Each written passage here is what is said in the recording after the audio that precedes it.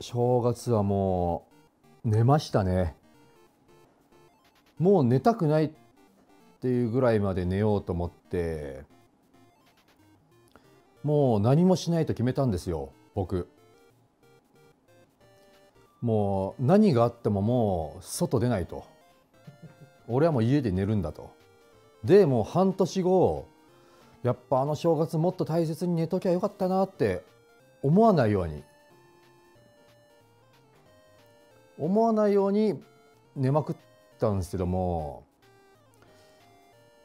1月6日最終一番言っちゃったけどなんか 俺これ内緒にしてんでしたっけ僕休みの日。まあ一応ラジオでなんかそんなんしましたよね、うん、まあなんかなあの日ですね。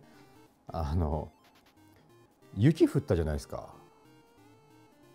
雪が降り始めたんですよ。降り始めの雪。しかも天気も良くてその辛くないっていうか外にいても。状態の雪の降り方したんですよ。さすがに外飛び出ましたね僕も。あの日は。あの雪の日はさすがに僕も外出てしまって公園歩きましたね。あ久しぶりにねあの井の頭公園歩いたらですねあのカモがです池のカモがですねあの大量発生しましてね、うん、今見どころ今見た見に行った方がいいです皆さん。すごいカモいたんで。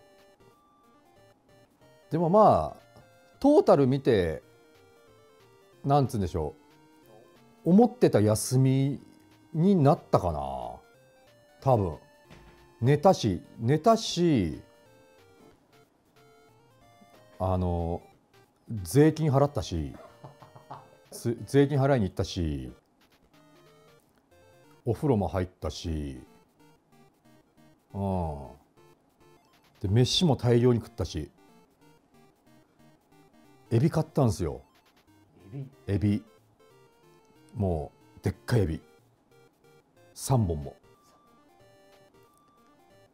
やっぱこのなんつうんでしょう。もう稼いでますからエビ3本買っちゃったらね去年の僕とはもうえらい違いですよ。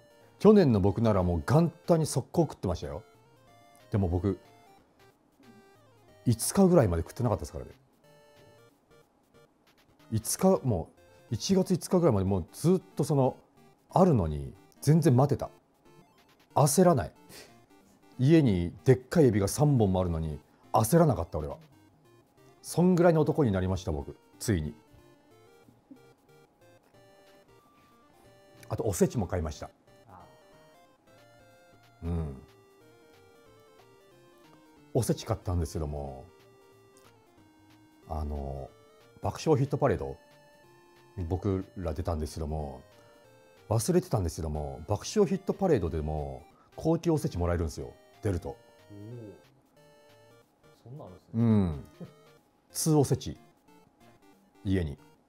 余裕で食い切れずおせちってねおせちってねやっぱ思ったんですけどいやこれ語弊があるんですけどもおせちってねそんなうまくないですよ。ラーメンとかの方がやっぱうまいです。だから通おせち行くとねやっぱつくづく思いました。ワンおせちはみんなあの新鮮味で食えるんですよ。結構。やっぱおせちいいなってなるんですけど通おせち目でようやくねおせちの味を堪能するんですよ。おせちの味を知り出すんですよ。そうするとなんか弱えな。おせちって弱えなって思いますね。うん。その飽きるとか飽きないとかもうもう種類もだいぶ違うんです。この2つのおせち全然種類違うんですけどなんかね弱い。うん。弱さ感じた。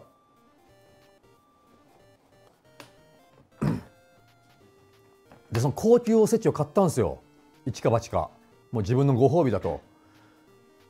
でせっかくの休みですしね高級おせちで正月を、ね、越そうじゃないかと思ったんですけどやっぱ高級おせちってね僕ちゃんと見てなかったんであれなんですけどなんかねフレンチみたいな。やっぱり高級ってそういうことになってくるんですよやっぱ。フレンチ系フレンチ風それフレンチって見てなくてフレンチおせちみたいになっててなんかこうちょっと癖があるみたいな、うん、もうその